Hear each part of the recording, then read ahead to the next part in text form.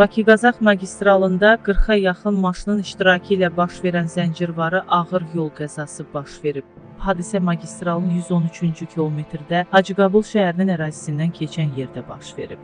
İlkin məlumata görə hadisə nəticəsində bir nəfər ölüb, 15 nəfər yaralanıb.